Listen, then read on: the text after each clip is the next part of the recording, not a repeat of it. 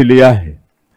मुझे इस बात की खुशी है कि हमारे 10 शासकीय मेडिकल कॉलेज के साथ ही हमारे यहाँ निजी क्षेत्र के मेडिकल कॉलेज भी प्रदेश में मेडिकल एजुकेशन को मज़बूत करने और होनहार डॉक्टरों की नई पीढ़ी तैयार करने में अपनी अहम भूमिका निभा रहे हैं।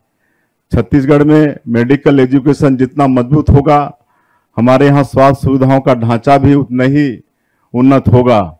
यह खुशी की बात है कि हमारे यशस्वी प्रधानमंत्री श्री नरेंद्र मोदी जी के नेतृत्व में, एक दशक में छत्तीसगढ़ में मेडिकल एजुकेशन का जितना विस्तार हुआ, उतना पहले कभी नहीं हुआ। इसका सीधा असर प्रदेश की स्वास्थ्य सेवाओं में दिखेगा। जब हम मेडिकल एजुकेशन और स्वास्थ्य सेवाओं की बात करते हैं तो मुझे अटल जी की याद आती है, जिन्होंने छत्तीसगढ़ में एम्स आरंभ कराया। उस समय मेरा सौभाग्य था कि मैं सांसद था और उस समय बहुत मरीज़ हमारे पास दिल्ली आते थे। और मेरा एक हॉबी भी है मरीजों का इलाज कराना।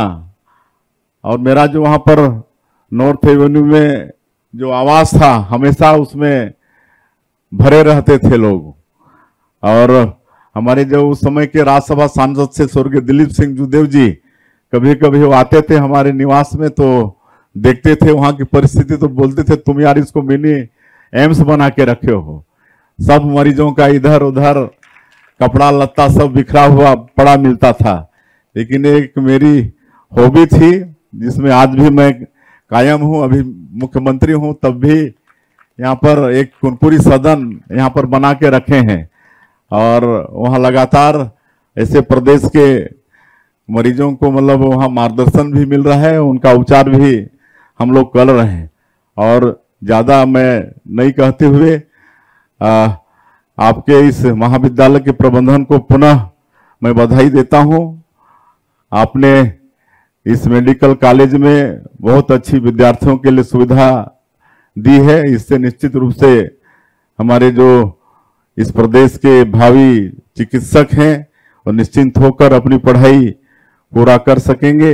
और अंत में फिर मैं पूज्य रावतपुरा सरकार बाबा को नमन करना चाहूँगा और उनसे ये आशीर्वाद भी कि उनका आशीर्वाद हमारे छत्तीसगढ़ को हमेशा मिलता रहे, छत्तीसगढ़ में खुशहाली हो और आज का एक गौरवशाली क्षण उपलब्ध कराने के लिए मैं फिर से एक बार ट्रस्ट का आभार व्यक्त करते हुए और ये मेडिकल कॉलेज उत्तरोत्तर विकास करे, इन्हीं शुभकामनाओं के साथ मैं अपनी बात समाप्त करता हूँ। जय हिंद, जय छत्तीसगढ़।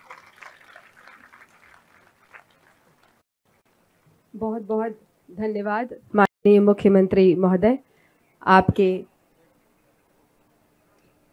एक चीज़ मैं भूल रहा था।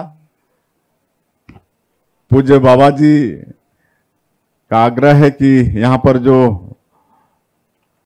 कॉलेज के अगल बगल में ज़मीन है तो रिक्वायरमेंट होगा तो निश्चित रूप से सरकार उनको ज़मीन उपलब्ध कराएगी। धन्यवाद।